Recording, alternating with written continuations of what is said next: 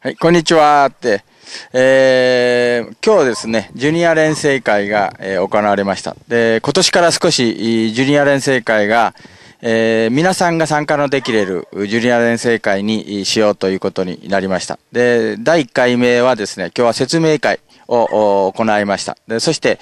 えーこれからあ使用するう服装などをお皆さんで、えー披露することになりました。で次に行われますう計画について、えー今日お早速う来ていただきました方々にですね、ご説明をしていただこうと思いますんで、ご紹介します。うそれでは、これ回してください。はい、どうぞ。6月21日、徳島県三好市東井谷落合集落重要伝統的建造物群保存地区、親子で触れ合う充電券、みんな来てね。